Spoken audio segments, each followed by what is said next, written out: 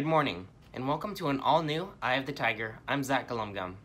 And I'm Landon Reynolds. As students prepare to come back to school a week from Monday, teachers are also preparing to make the return. However, several teachers have requested to stay at home but have been denied.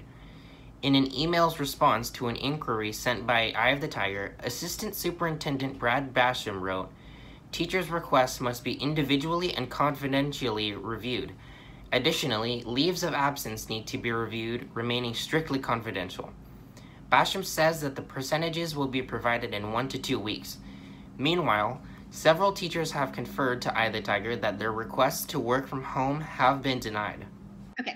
Um, so the teachers who have underlying health conditions that may have wanted to teach in that virtual academy and are now being denied the opportunity to teach distance in what's coming out in the, the past couple days are now being forced to go back into an instance where they don't feel safe um, all because we didn't do the things that we needed to do to set it up beforehand um, right and so that is a little bit frustrating i think Schools plan to reopen one week from Monday.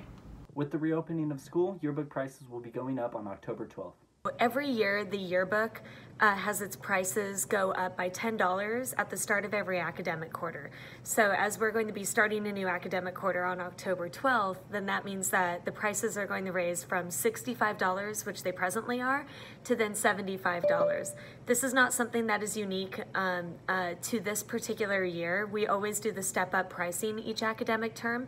And that's because it really is important to us to have um, as many orders as early in the year as possible.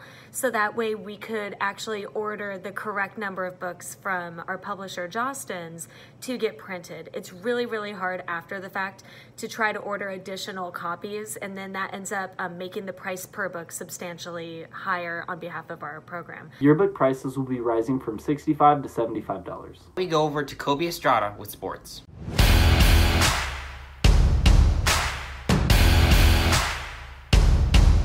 Good morning and welcome to this Friday's edition of EOTSN. I'm Kobe Estrada.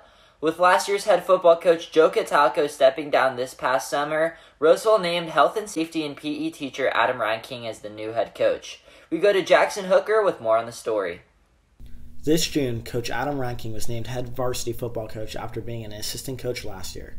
Ranking has many years of coaching experience, including 13 years as head coach, and a 33 and 22 record at El Camino High School, bringing them to the playoffs three out of five years. Well, this will be my 17th year uh, coaching football, and this will be my what 13th year as a head coach, and um, you know um, my third year at Roseville, and, and so you know over over that time, um, you know I've learned a lot, and I had opportunity to learn from you know Coach Catalico last year, and and coaches throughout the years, and um, you know I'm excited to uh, start this kind of journey as a head coach at Roseville High School and, and apply what I've learned in a couple years I wasn't a head coach and and and hopefully I can make us better out. Ranking has goals outside of just football, like making the team accountable for their peers and representing their community. So so that would be my goal is is to kind of establish a culture um, that fits you know the the hard work and the accountability piece. The, the, the players are accountable for each other and and um, to their to their classmates, to their school, to their community. Um, so that's kind of what the goal would be. Senior wide receiver Brett Newton is excited to get back on the field, knowing how committed Ranking is to his football team. As I have gotten to know Coach Ranking, I know that he is dedicated to us players on and off the field, and he is dedicated to creating a successful program, and I just can't wait to get out there and start playing again. Senior guard and middle linebacker Eddie Valdez believes the team will adapt well to the coaching switches. Catalico and Ranking share alike coaching styles. I think Ranking and Catalco have the same uh, level of play. Uh, Ranking runs a different uh, uh, offense than Catalco, but uh, if you compare them as like you know who they are as a coach, I think they're just about the same. And that's on your home for Roseville High School sports, top plays, breakdowns, and more. I, the Tiger Sports Network, EOTSN. And now we go over to entertainment.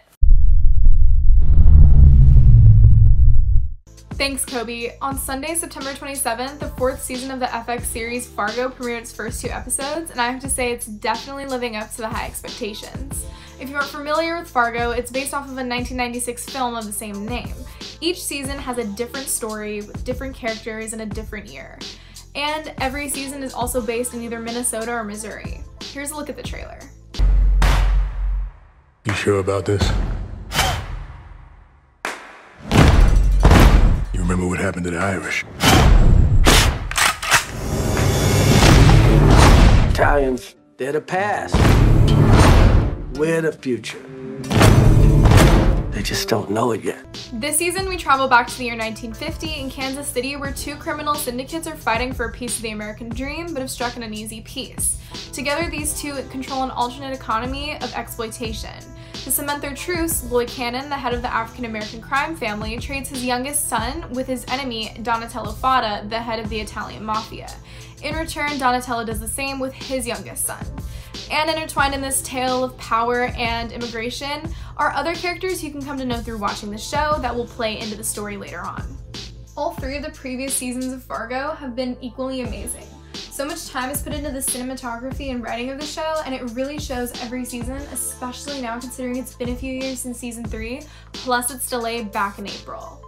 Personally, after watching the first two episodes, I'm super excited to see how chaotic and intricate this story gets this season with these characters. If you're interested in watching it, you can watch it on Hulu or YouTube TV. And now we go back to news. Thanks, Isabella. Student government will host Spirit Days on Fridays for the next several weeks.